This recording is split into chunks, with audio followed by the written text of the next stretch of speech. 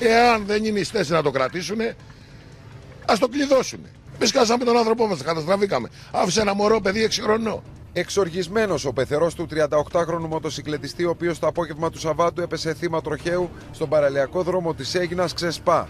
Όπως καταγγέλει, ο γαμπρός του ήταν βαριά τραυματισμένος στο κεφάλι και επί μία ώρα χαροπάλευε στην άσφαλτο, περιμένοντας ασθενοφόρο από το κέντρο υγείας του νησιού.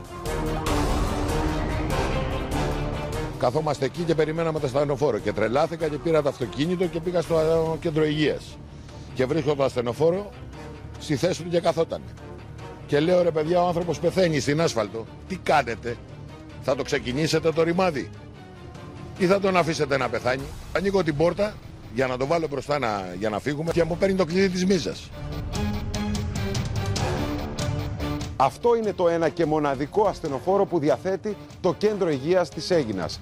Όπως καταγγέλουν κάτοικοι και φορείς της πόλης, το Σάββατο το απόγευμα, την ώρα του συμβάντος, δεν υπήρχε οδηγός ασθενοφόρου. Είναι τρία άτομα οδηγοί. Είναι οι δύο οι οδηγοί είναι μόνιμοι και ο ένας είναι με σύμβαση. Δεν βγαίνουν οι βάρδιες. Ήρθε το ασθενοφόρο του νοσοκομείου και όχι του κέντρου υγείας. Ο άτυχος 38χρονος και πατέρας ενός αγοριού 6 ετών, παρά τις προσπάθειες των γιατρών στο κέντρο υγείας, έχασε τη μάχη για τη ζωή. Το παλικάρι εξέπνευσε 19 και 11.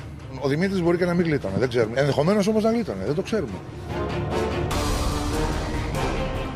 Σύμφωνα με καταγγελίες, ο ένας εκ των τριών οδηγών ασθενοφόρου είχε πενθήμερη άδεια και δεν είχε προβλεφθεί η αντικατάστασή του.